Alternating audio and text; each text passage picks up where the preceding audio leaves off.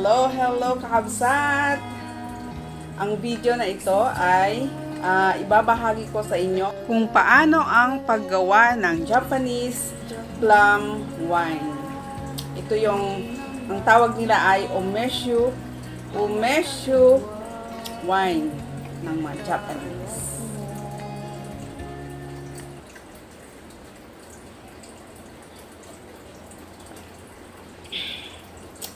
Sarap. Sarap humagod sa lalamunan. So, let's start.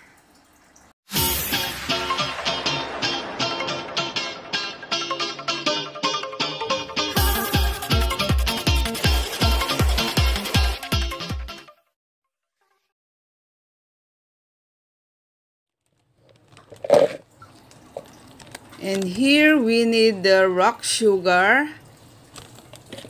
I used uh, 2 pack by 600 grams. Yes, this is the rock sugar. And we have the Japanese sake. Yes, that's the brand. It's the Japanese sake. Yes, that's the bottle. Jausen. That's the brand. And then we have the Ume plum. Yes. We have to clean it well. Linising mabuti. Tanggalin yung mga itim-itim dyan. Ayan. Make sure na malinis na malinis. And we dry it using the kitchen towel. Yung kitchen tissue. Ayan, and then, i-prick natin yung, tanggalin natin ng yung mga itim-itim. May mga dumi pa siguro. Ayan siya. Make sure na malinis. It's like, it's like my way too.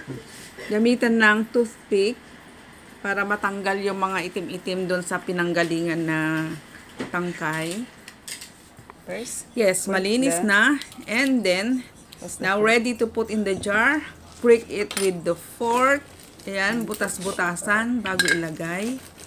Then, next ang sugar.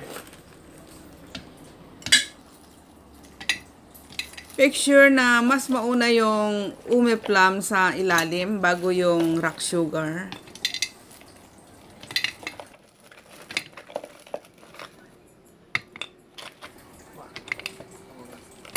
Yes, that's it. Yes! Magkakaroon na tayo ng umeshu wine. Yes, this is the Japanese sake. Yan. That's the brand. And then, open it.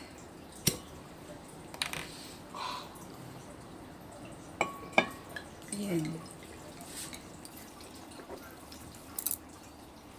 Let's fill in.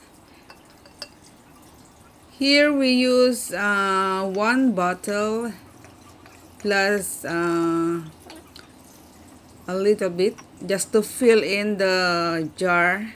Make sure na it covers all the rock sugar on top.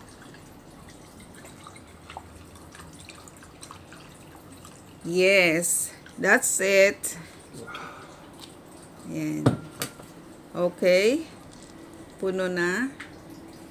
And more space. And then shake it a little bit so that the ume plum will put in place. Siya. And then we use the glad wrap to cover it that way. And then make sure that uh, we cover it well. Yan. Yes, it's ready. And then we put in a dark place. We put in the cabinet. So, ayan. Ilagay natin dyan. And it will stay there for about 12 months. Yes. Bye-bye. See you after 12 months.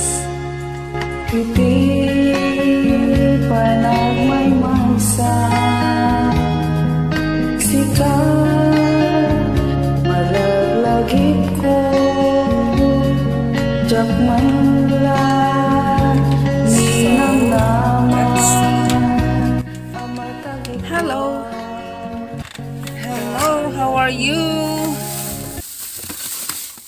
You must be very, very tasty. Tignan na siya. Ang bango.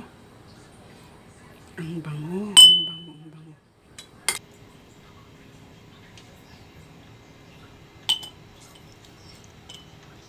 Tikim lang tayo.